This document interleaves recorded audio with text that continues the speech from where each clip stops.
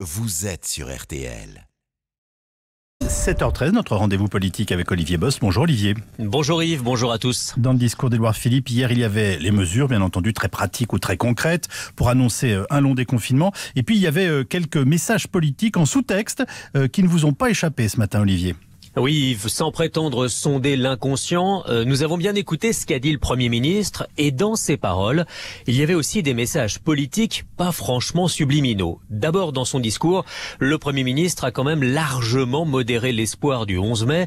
Emmanuel Macron promettait le retour des jours heureux. Édouard Philippe se contente d'espérer des jours meilleurs. Avec son style concret, sérieux, austère, le Premier ministre a surtout beaucoup insisté sur un confinement moins strict, progressif progressivement, étape par étape, et son possible report si les chiffres des contagions sont mauvais. Et mine de rien, il a aussi largement repoussé le calendrier de réouverture des écoles.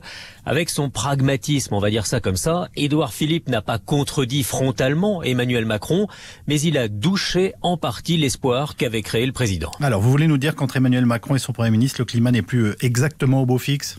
Alors en fait, si on regarde ces trois années, à chaque crise, il y a eu des désaccords et c'est normal. Au moment des Gilets jaunes, le Premier ministre ne voulait pas lâcher sur la taxe carbone. Au moment des retraites, il tenait à l'âge pivot. Sur le déconfinement, ils ne sont clairement pas sur le même rythme non plus. Jusque-là, les deux têtes de l'exécutif ont réussi cette performance, cet exploit de toujours cacher publiquement ces décalages. Mais dans les faits, à chaque fois, cela nuit quand même à leur action. Cette dissonance est devenue tellement audible ces derniers jours qu'hier en Conseil des ministres, Emmanuel Macron a retrouvé son ton de chef de guerre.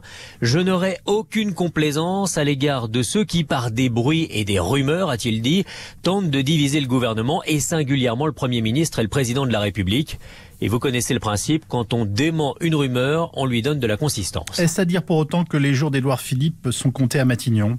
Alors ils le sont par définition, dès le premier jour, sauf que là, le spectre du Premier ministre fusible, sacrifié sur l'autel de la crise dans un avenir proche, a été alimenté par Emmanuel Macron lui-même. Quand le chef de l'État a parlé il y a deux semaines de se réinventer et de bâtir un autre projet dans la Concorde, c'est lui qui a donné le signal de changements à venir et qui a ajouté ses tensions au sein de l'exécutif. Par ses confidences, il a aussi alimenté les rumeurs de très fortes divergences avec son Premier ministre. Ces tensions euh, sont bien sûr inutiles et incompréhensibles pour les Français dans un moment extrêmement délicat.